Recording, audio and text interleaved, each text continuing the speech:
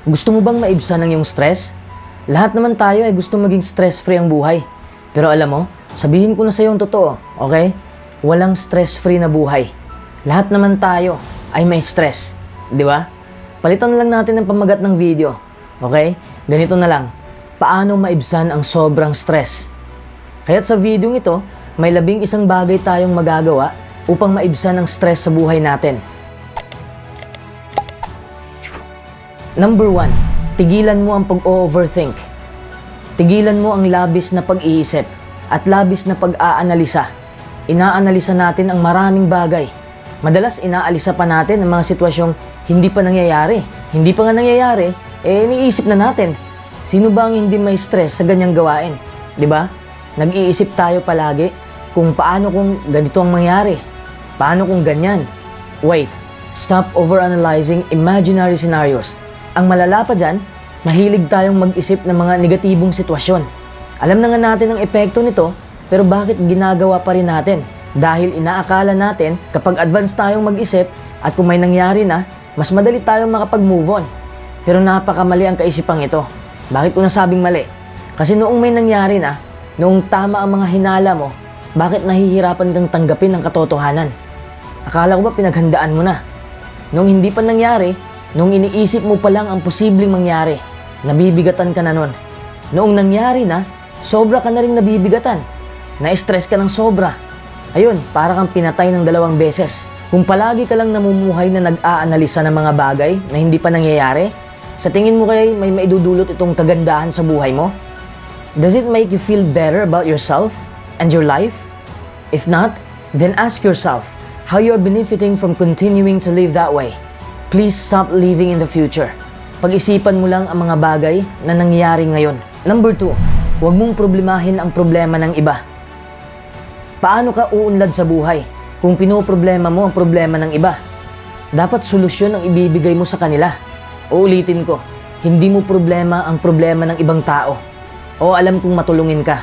Pero sa sobrang pagkamatulungin mo, para mo na rin pinapasan ang buhay ng iba. Nakakalimutan mo bang may responsibilidad ka rin sa buhay mo? Kung tulong ka ng tulong sa iba, tapos ang sarili mo ay hindi mo na natulungan, talo ka pa rin sa kalagayan na yan. Huwag mong mamasamain ng sinabi ko, okay? Hindi ko sinasabi na mali ang tumulong. Ang malaking pagkakamali lang ay kung aangkinin mo na ang responsibilidad ng ibang tao. Do not disallow their personal responsibility. Dapat turuan mo silang mamuhay ng maayos. Di porket hindi sila marunong umayos ng problema nila, ay ikaw na lang ang hahawak sa kanilang problema. Hindi pwedeng ikaw na lang lahat ang papasan. It is no service to other people to take on their problems. It is of service to empower others to take responsibility for themselves and their lives, to encourage, to teach, and to motivate others to address their own problems. Start empowering. Number three, mamuhay ka sa araw na ito. Ngayon, ngayong araw na ito, ang araw na dapat mong pagtuunan ng pansin. Damhin mo ang iyong nadarama ngayon. Ito ang tanong ko sa'yo. Ano ba ang kinakatakutan mo sa iyong buhay? Kung hindi mo alam kung paano sagutin ang tanong na ito, isa lang ang ibig sabihin niyan, naguguluhan ka. Wala ka pang masyadong focus sa buhay mo ngayon. Ang dami mong iniisip. Being present involves vulnerability and openness. Damhin mo ang nadarama mo ngayon upang hindi ka na malilito sa kakaisip ng iba't ibang bagay tungkol sa iyong hinaharap. The past and the future stop being so relevant and intriguing when you're able to get in your body and feel your feelings. Now, I want you to close your eyes. Focus on your breathing. Inhale. Exhale. Watch your stress levels drop. I want you to do that. I'm not kidding. Do it. Number four, mag-focus ka sa mga bagay na nakuha mo na. Nakaka-stress ang buhay kung palagi tayong nagpo-focus sa mga bagay na hindi pa natin nakukuha. Kumusta naman kaya yung mga bagay na nakuha mo na? Pinapahalaghan mo ba mga bagay na yon? Masaya ka ba sa mga naabot mo ngayon? Kasi itong napapansin ko sa maraming tao. May cellphone na bagong labas. Binili ka agad. Ang ganda ng specs eh, di ba? So ayun, nahawakan mo na ang gusto mong cellphone. Dumaan ang ilang buwan, may bagong release na cellphone na naman. Gusto mo na namang bumili ng bago. Pero isipin mo ito, hindi ba't ang cellphone mo na yan ay pinangarap mo noon? Pero bakit ngayon ay parang wala na ang halaga ng bagay na yon? Bakit naghahangad ka pa ng iba pang kagamitan? The easiest way to stop focusing on what you don't have is by not watching TV commercials. Because here's the thing marketing teaches us to focus on what we don't have. And advertising campaigns spend millions of cash convincing us that we must have what we don't yet have. Pinaglaruan lang tayo ng ating lipunan. Palagi silang naglalabas ng panibagong kagamitan. Kahit itong dahilan kung bakit nahihirapan tayong magpahalaga sa maliit na bagay na nakuha na natin. Kasi naibaling na natin kaagad ang ating focus. If you want to drop your stress levels right now, stop letting other people dictate your focus. Try cultivating a gratitude practice to help refocus your mind toward what is good in your life. Number 5. Layuan mo ang mga taong negatibo. Yung mga taong walang maidudulot na maganda sa buhay mo. Layuan mo na sila. Hindi ka naman masama kung lumayo ka. Kung hindi ka lalayo sa kanila, ang buhay mo ay hindi magbabago. Ano ba ang klaseng kaibigan na gusto mo? Yung inom ng inom ng alak? Yung walang pakialam sa kanilang buhay? Pero teka lang, kung gusto mo ng mga tao may positibong habits, dapat ganyan ka rin muna. Hindi ka pwedeng mag-wish na papalibutan ka ng positibong tao kung puro negatibo ang nasa isipan mo. Like attracts like. Kung negatibo ka, maa-attract mo rin ang mga taong katulad mo. Ibig sabihin lang yan na magsisimula yan sa sarili mo. Gusto mo ng mga kaibigang maintindihin? Yung tatanggapin ka ng buo? Yung marunong makisama? Ilan na ba ang mga kaibigan mo ngayon? Lahat ba sila ay may hatid na kagandahan sa buhay mo? Dapat alam mo yon. If you find that the people in your life are not adding anything positive, it may be time to make some changes. Para saan pa ba ang pagpapanatili kung alam mo nang ganyan lang ang takbo ng buhay mo? Alam mo ngang mali ang kinakasama mo, hindi ka pa rin umaalis. Huwag mong sadyain na sirain ang buhay mo. Hindi ko naman sinasabi na iiwan mo sila kaagad. Huwag naman ganon. Dapat ipaalam mo sa kanila na mali na ang mga ginagawa nila sa buhay. Na nasa negatibo na silang landas para naman matulungan mo silang magising sa maling paniniwala o sa maling pamumuhay. Kung may maniniwala man sa'yo, sasama yan sa pagbabago mo. Kung nagmamatigas pa rin, panahon na para iwan mo na sila. Kasi ibig sabihin na hindi sila tunay na kaibigan. Number 6, maghanap ka ng trabahong gusto mo. Bakit ko sinabing trabaho? Bakit hindi negosyo? Kasi hindi ko alam kung anong gusto mo sa buhay. May ilan sa inyo na gustong magnegosyo. May ilan din na gustong magtrabaho na lang. As what I've said, whatever you want to do in your life, do it. Halimbawa na lang natin kung gusto mong magtrabaho. Kumanap ka naman ng trabahong gusto mo. Ito kasi napapansin ko sa mga tao sa paligid ko. Nagtatrabaho sila ngayon sa trabahong ayaw nila. Na-stress sila sa buhay dahil sa kakagawa ng mga bagay na napipilitan lang sila. Napipilitan lang sila na pasukin ang trabahong yon kasi wala na silang mahanap na ibang trabaho. Alam ko naman kung gaano kahirap maghanap ng trabaho ngayon. Kaya ang dami ring na-stress sa buhay. Tandaan mo ito, huwag kang magtrabaho para lang may pambayad sa mga bills mo. Bakit ko sinasabi ito sa'yo? Dahil mas mahihirapan kang umangat sa buhay dahil hindi mo ito kagustuhan. Ito pang mas masakit. Mas mahaba pang oras ng pagtatrabaho kaysa sa pagtulog mo. Halimbawa, nakikita mo akong naglaan ng mahabang oras sa kakagawa ng mga bagay na hindi ko ikakaunlad. Ano bang maaari mong maipayo sa akin? Ang payo na naiisip mo ay ipayo mo sa sarili mo. Hindi maiibsan ng stress sa buhay mo kung hindi mo alam kung paano mo hawakan ng maayos ang iyong sitwasyon. Number 7, gawin mo lang kung ano ang makakaya mo. Huwag mong piliting gawin ng isang bagay kung nahihirapan ka. Alam kong may kakayahan ka, pero hindi mo kaya ang lahat sa isang pindot lang. Hindi mo kakayanin sa isang kilos mo lang. Nakikita ko na ito sa kumpanyang pinasukan ko noon. Isang tao, ang daming trabaho. Unang araw naka-assign sa bodega, Bukas sa ibang department naman. Trabaho dito, trabaho doon. Walang magagawa kasi amo ang nag-utos eh. Sinasalo na lang lahat. Pero hindi po pwede yon sa physical state natin. Napapagod din tayo. Kung pagod ang ating katawan, maapektuhan din ang ating utak. Dito napapasok ang stress. May iba din kahit hindi inuutusan, gusto lang magpabilib.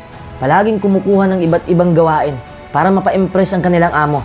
Pero ito ah, kung ikay nagtatrabaho ngayon, Obserbahan mo ang mga taong puno ng trabaho. Hindi pa rin umuunlad sa buhay. Kasi hindi naman nila gusto ang ginagawa nila. They take it the wrong way. Slowing down can actually be terrifying because it causes you to notice that you have feelings that you now have time to feel. Did you get my point? Ito lang ang may papayo ko sa'yo. Kung hindi mo mahal ang trabaho mo, kung pumasok ka lang dyan dahil wala ka nang mapapasukang ibang trabaho, huwag mo lang saluhin lahat ng responsibilidad. Alam ko na kaya mo naman, pero pa isa-isa lang, okay? Number 8, huwag kang magkimkim ng galit. Nakaka-stress kapag ibinabaon mo ang galit sa dibdib mo. Ikaw rin naman ang magdurusa sa negatibong emosyon na yan. Kasi negatibo yan eh. Ano pa ang inaasahan mo? Let me tell you, it took me many years to figure out that holding on to grudges and anger only hurt me. It feels like hell. Ang swerte mo nga dahil nalaman mo na ito ngayon. May oras ka pa na bumitaw sa negatibong emosyon na ito sa lalong madaling panahon. Alam mo, ang taong kinaiinisan mo ngayon o ang mga taong hindi mo gusto ngayon, hindi naman sila ang dahilan ng negatibong emosyon mo na yan. Ikaw lang ang gumagawa niyan. Paano ko nasabi? Dahil hinahayaan mo lang na kainin ka ng sarili mong emosyon. Kapag nababalot ka na sa kadilimang ito, nang dahil lang sa negatibong emosyon na yan, ikaw naman ang lalayuan ng mga tao.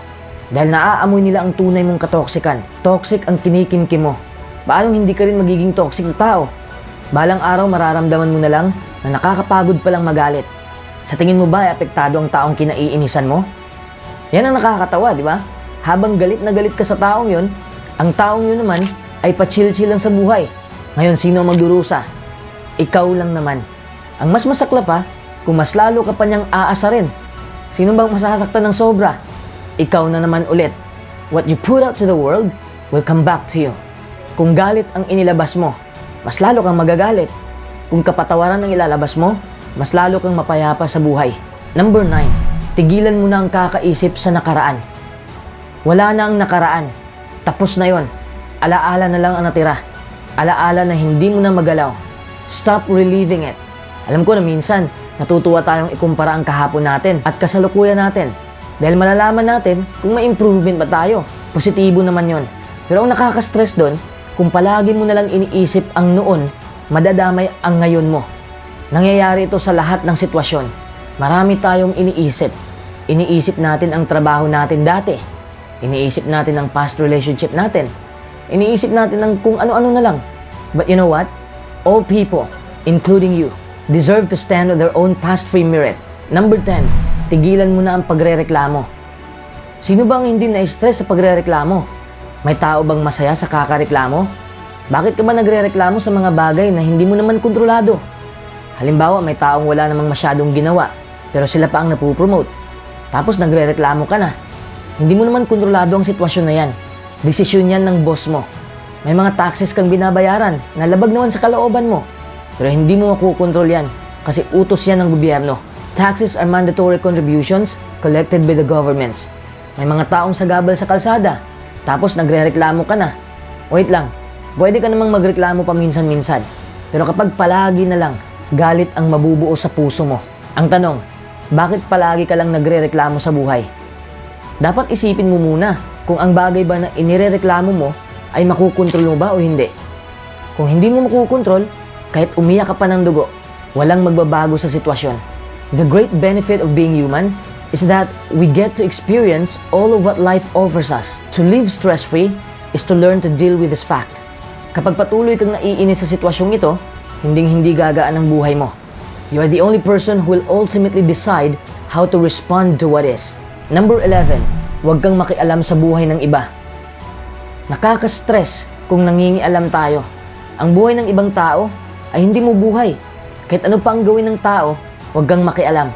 Pwede kang magbigay ng payo sa kanya, pero wag mong pasukin ang gulo na siya lang ang nakakaalam. Hindi mo alam ang buong kwento kung bakit may ibang kinikilos ang ibang tao. Kaya kung hindi mo alam, huwag ka na makialam para wala ng stress sa buhay. Your life is your life.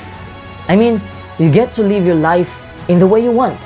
Kahit na magkakamali sila, huwag kang makialam dahil may kamalian ka rin. Going through stuff is the whole great messy adventure of being human. Being alive and living life is terrifying and glorious and everything in between. Ano man ang nakikita mo sa social media, buhay na nila yan. Kung nag-flex sila ng kagamitan, o mga travel, o mga achievements, mga ano-anong kaganapan man yan, buhay na nila yan. Huwag mong kainggitan, huwag mong pakialaman. Mamuhay ka sa sarili mong buhay na sarili mo lang ang iyong pinakikialaman. Focus instead on what it feels like to be you in this moment. Tayo lang naman ang nagbibigay stress sa buhay natin eh. Ibig sabihin, tayo lang din ang makakatanggal ng stress na ito. Hindi lang natin matanggap na tayo ang gumagawa ng sarili nating stress dahil palagi nating sinisisi ang ibang tao sa stress natin. Na-stress ako dahil sa'yo, hindi dahil sa kanya, dahil nagpapa-apekto ka. Kung hindi ka makakalabas sa negatibong mindset na ito, lulubog pa lalo ang buhay mo. Sakyan mo lang ang alon ng buhay. You move fluidly, steadily, calmly, and gratefully. Kailangan mo lang tanggapin ang lahat ng pangyayari at aksyonan mo ito nang walang tinatapakang tao. Tama na ang ganyang negatibong aksyon. Ayusin mo na ang iyong isipan